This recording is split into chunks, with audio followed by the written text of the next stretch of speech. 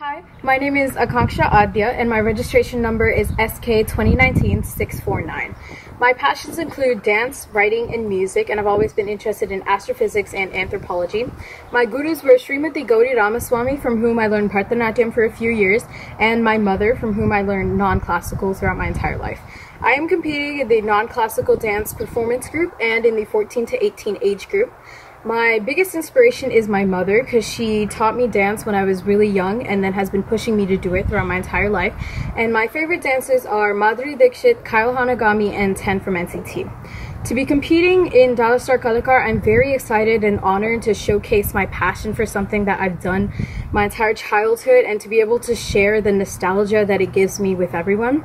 And to win this would be like taking my longest lasting passion and putting it to use for something amazing. And I would love to win this doing something that I truly love and enjoy. Thank you.